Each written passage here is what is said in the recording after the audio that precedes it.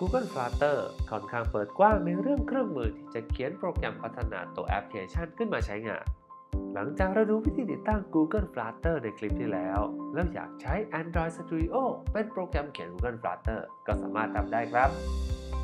สวัสดีครับ ผมโค้ชชนคนเดิม และในคลิปนี้ พวกเราจะมาทำให้ Android Studio เนี่ย สามารถใช้พัฒนาแอปด้วย Google Flutter ครับ ตัวโปรแกรม Android Studio จำเป็นต้องใช้ Flutter SDK ที่เราติดตั้งไว้ก่อนหน้านี้ ดังนั้นถ้าเกิดเรายังไม่ได้ติดตั้งตัว Google Flutter SDK เนี่ย ก็ไปดูได้จากคลิปที่โค้ชพลวางเอาไว้ให้นะครับ เสร็จแล้วค่อยมาเริ่มทำในคลิปนี้ต่อนะ เริ่มแรกก็ให้ใช้ลิงก์ที่โค้ชพลวางเอาไว้ในรายละเอียดของคลิปนี้ เปิดมาที่หน้าเว็บสำหรับดาวน์โหลดโปรแกรม Android Studio กดปุ่มดาวน์โหลดตัวติดตั้งมาไว้ในเครื่อง จากนั้นก็เริ่มกระบวนการติดตั้งให้เรียบร้อย หลังจากติดตั้งเสร็จแล้วเนี่ย ให้ทำการเปิดโปรแกรม Android Studio ขึ้นมา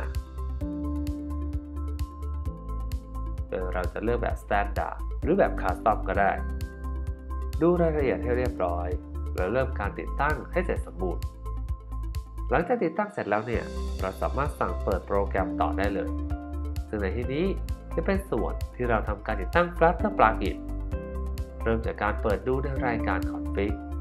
และเลือกเมนู Plugin กดปุ่ม Browse Repository และพิมพ์คำว่า Flutter ลงไปในช่องค้นหา แค่นี้เราก็จะสามารถเลือกติดตั้ง Flutter Plugin ให้กับตัวโปรแกรม Android Studio ได้ หลังจากติดตั้งเสร็จแล้วเนี่ย เราก็จำเป็นที่จะต้อง Restart ตัวโปรแกรม Android Studio อีกครั้ง พอเรา Restart แล้ว เราก็จะเห็นรายการสร้างโปรเจกต์ของ Flutter แสดงขึ้นมาเป็นตัวเลือกครับ และในตอนนี้ Android Studio ของเราก็พร้อมที่จะใช้ในการพัฒนาแอปด้วย Google Flutter แล้วครับ ดังนั้นถ้าเกิดเราชอบคลิปดีๆ แล้วก็เข้าใจง่ายแบบนี้เนี่ยสามารถกดไลค์กดแชร์เพื่อเป็นกำลังใจให้ผมได้นะครับเออกด Subscribe เนี่ยอย่าลืมกดเปิดกระดิ่งแจ้งเตือนด้วย ก็จะไม่พลาดคลิปดีๆ แบบนี้เช่นกัน